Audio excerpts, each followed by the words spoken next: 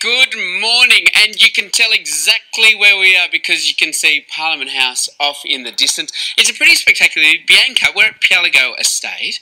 To anyone who hasn't visited Pialligo Estate, how do you describe the property? Ah, it's like an urban farm right next to the city. It is absolutely incredible. We have all this amazing produce. It's really a dream out here, yeah. It is beautiful. So we just met Pete half an hour ago. If you've just tuned in, he is the farmer who takes care of the gardens here. All of this is grown here. Then it's handed over to Mark to create the dinner menu, but it's also a place where people come for events and to get married. Yeah, it really is a place to celebrate. So everybody comes out here.